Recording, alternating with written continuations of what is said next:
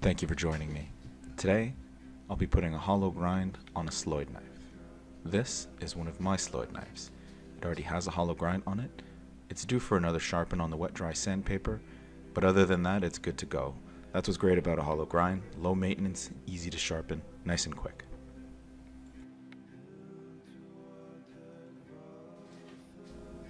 And this is the actual knife that we'll be sharpening today. It's what I thought was another Mora 106, except the shape is quite different than the previous blade as you'll see in a little bit. So the bevel of this knife is actually quite rounded off, and it makes for a very dull carving experience. This can happen after many hand sharpening sessions. So I'm very excited to see how this blade will turn out in the end after I have it all polished up and sharpened. And here's a side-by-side -side comparison just to show how really different these blades are. The knife I'm going to sharpen today is actually longer than this other one. Perhaps it's just been ground down to the point where the belly came off completely, but it's a very curious shape. Not a bad shape.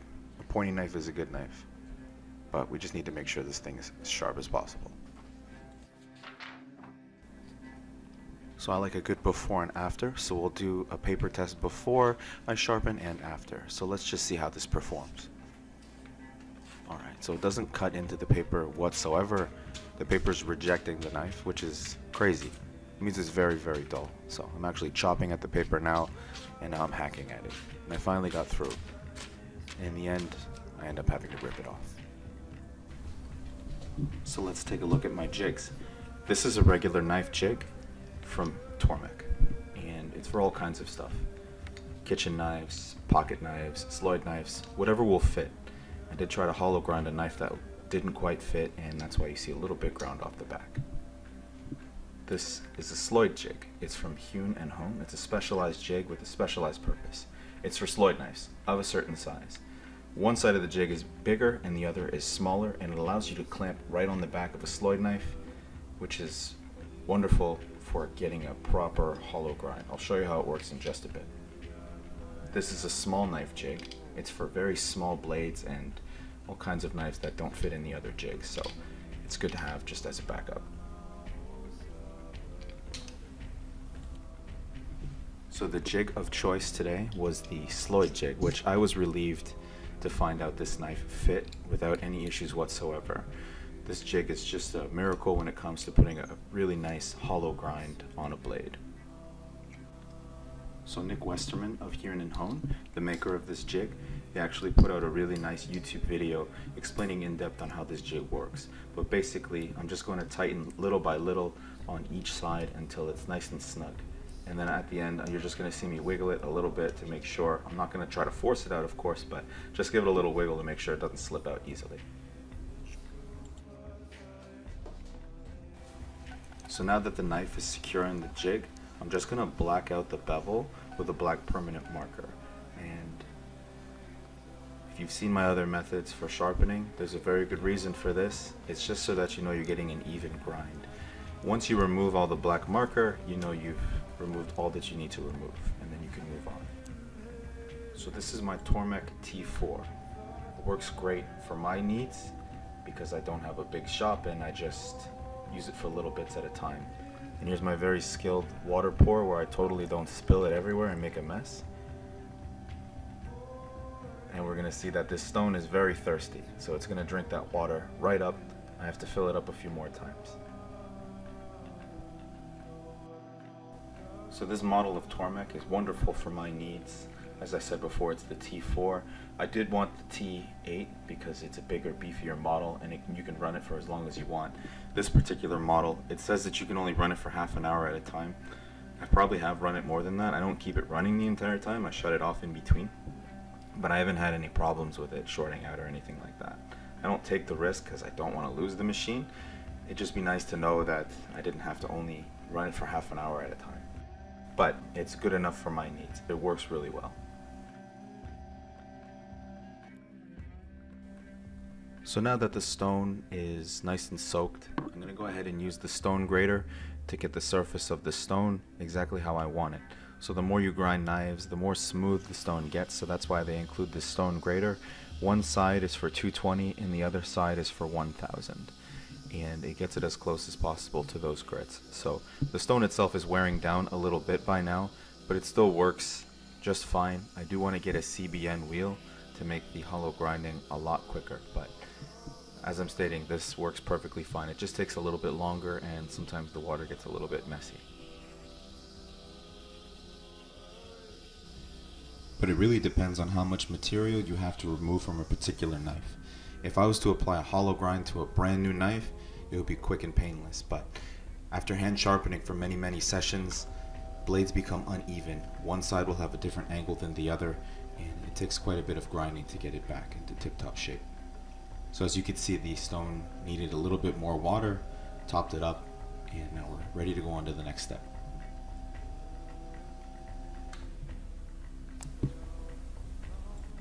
And now for the next tedious part. I need to find what angle that I need to grind at. And as I was mentioning before, since this knife has been hand sharpened for all of its life, both sides of the bevel are dramatically different angles. So what I have to do is find where to begin. Sometimes you'll have to meet in the middle somewhere. And this is really explained well in Nick Westerman's video on the Hewn and Honed YouTube. But as you can see here, one starts near the top of the bevel and the other side is down at the bottom of the bevel. So I take quite a bit of tweaking and playing with the tool rest to see how far out it has to be in order for there to be a good even middle point between the two angles. Since I was carving for a few years before I got the Tormek and before I got the Sloyd jig, a lot of my knives were in the same boat as this. But after you get it established, the jig makes it very repeatable and then you won't have this problem again. This was getting a little frustrating because one side was so dramatically different than the other side, I had to keep messing around. Going repeatedly back and forth, you know, bringing out the length and I did eventually get it, but right before I wanted to make sure I blacked out the bevel so I could get some fresh, uh, fresh perspective on this. So the reason why I rest it on where it will be as I'm grinding and just manually move the wheel so that it does a light grind off to see where exactly it will begin grinding.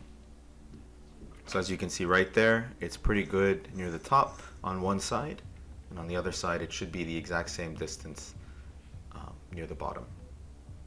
Good enough for me. This is close enough to the middle as I could find. So I'm just going to go ahead and tighten the tool rest or the jig rest and then I can actually begin.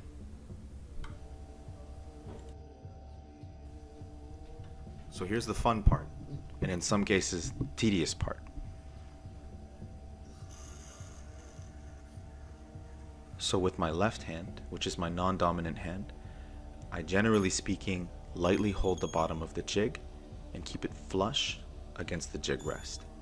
I don't want to force down towards the grinding wheel with my left hand because I don't want to bend the jig. So you're basically going to hold it lightly with your dominant hand and guide it that way. I usually press down on the bevel to make sure that it's grinding fairly well because if I had a CBN wheel it would be more aggressive and remove material a lot easier but because I have the just the standard stone that came with it it takes considerably more grinding to to get it back down to where it should be and because this one needed a lot of a lot of sharpening. It needed a lot of material to be removed. There's quite a bit of pressing and holding firmly that you'll see me doing. You'll also hear the knife sing. I find it to be very annoying when it does this, but the only way to prevent that is to hold firmly on the bevel against the stone as it grinds. Otherwise, you'll hear it sing and it's very loud and very annoying. So that was pass one. I did one grind on each side to see where it's landing and I'm just gonna keep going. I'm just gonna keep grinding on both sides until we get it to where it wants to be or to where I want it to be.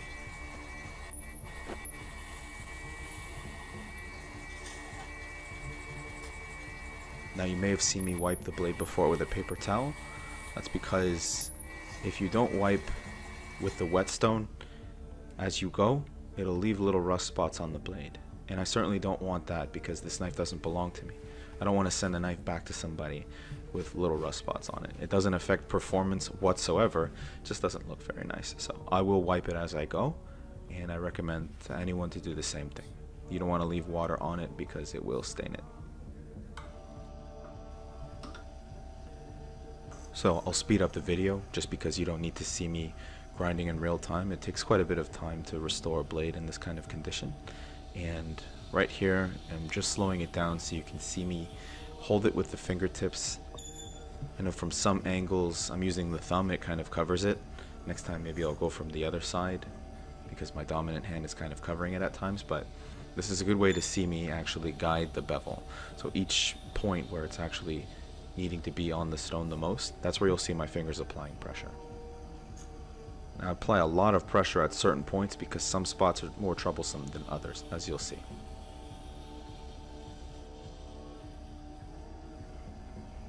You know, for how odd I said this blade was, don't get me wrong, it actually has a really nice shape. I like knives that are nice and pointy like this. They make it easy to get into those tight areas that have a really tight curve. Because when you're green woodworking and spoon carving, there's a lot of curves and you're going against the grain a lot. So having a really fine tip knife like this makes those tight spots a lot easier to work with. Especially now that this knife is very sharp, it'll be a dream to work with. I actually wouldn't mind having a knife just like this in my toolkit. Getting close to the end, as I continue to grind away material, just want to reflect upon my experiences and put a disclaimer out there. I'm by no means a leading authority on all things spoon carving or, or knife sharpening. I'm still learning and I'm enjoying the learning process. So as I learn, I share what I learn and hopefully it's of some benefit to some people out there. Here you will see me giving the stone just a fresh touch up. As you grind, it makes the stone smooth. So giving it a fresh touch up, especially for that last little bit, for those troublesome little spots on the bevel that just won't go away, it's good to give it a fresh touch up. Now this will be the last run on the Tormek.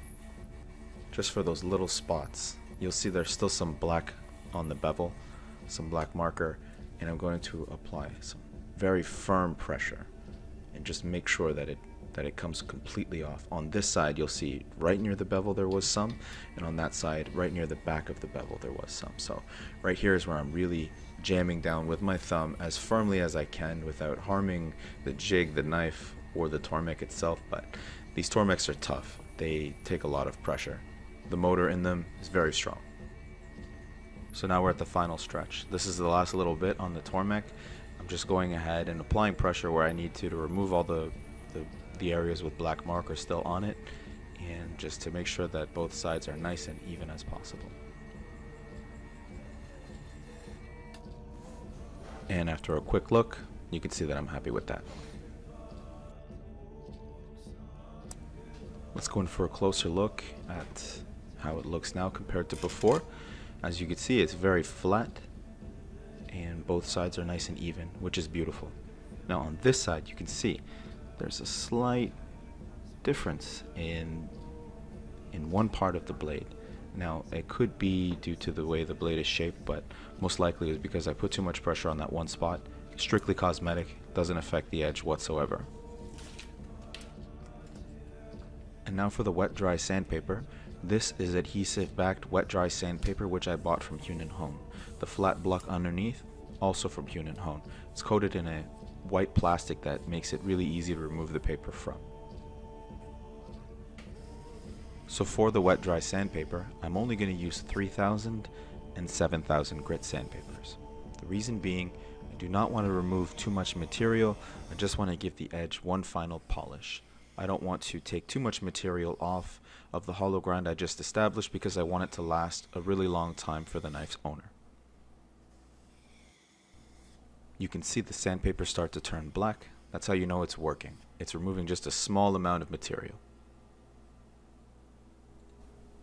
And throughout this session, you'll see me obsess over that little dimple. I was wondering, should I take it back to the Tormek or not? I noticed there's quite a large amount of burr on the edge, which is awesome. to have, but I'm just removing it here by slicing it through some end grain.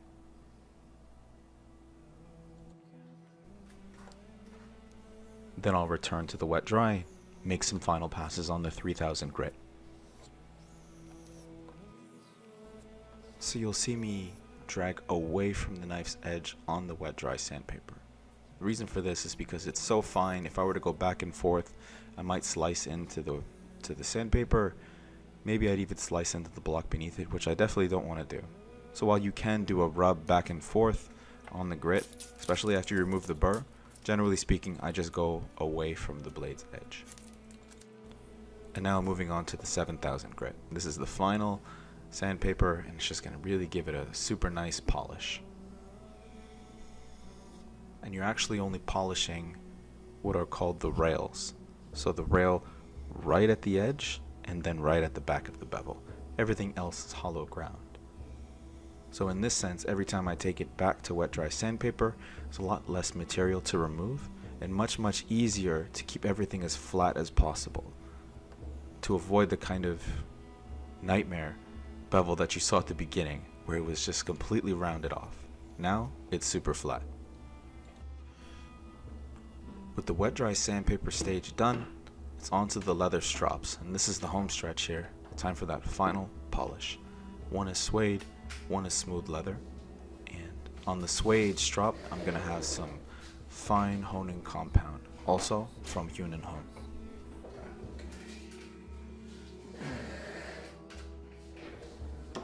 First thing I'll do is I'll give the suede strop a very generous coating of this honing compound and just cake it in real thick. This is extra fine honing compound from Hewn and Hone once again. Highly recommend it. I can also recommend using Tormek paste and Veritas from Lee Valley Tools. So now once again, away from the blade's edge, keeping things as flat as possible, you'll see the honing compound start to actually turn black, which is good. That means it's removing that small amount of material to give my edge the final, final polish. I'll just take a moment here to talk a tiny bit about scratch patterns. You'll see me keep the knife straight when I'm making my passes, and that's because I want to follow any sort of, however not even visible to the naked eye, scratch patterns keeping the back of the knife as straight as possible as you make your passes down ensures that you're following any scratch patterns, which makes for a very quality edge. You'll see me use a baby wipe in between to give the knife a good cleaning so that it doesn't dirty up my already horrendously dirty strop, which I also am just going to give a quick buff and clean it off. Much overdue. The final step is a smooth leather strop. Back and forth the exact same way as the wet dry, as the honing compound. I'm going to do about 20 passes, I think about 26 that I made, just to give it a very final, final edge. This is to remove any small amounts of wire edge, any small amounts of burr on the edge of the blade to make sure it's super, super fine. I used to dread sharpening knives, and now I really enjoy it. Once you have a process dialed in, it's actually a really enjoyable experience. This knife has seen a lot of use, and I'm hoping now that it has this brand new edge, its owner will find many more years of joy using it. I'm just giving it a quick little clean off so that I can send it back in great shape.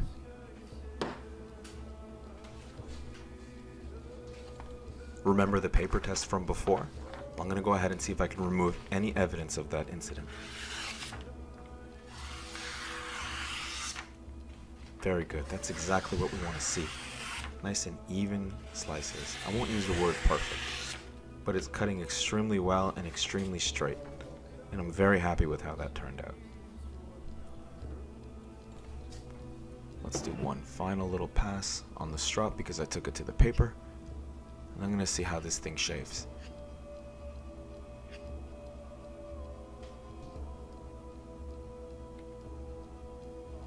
Looks like it shaves effortlessly.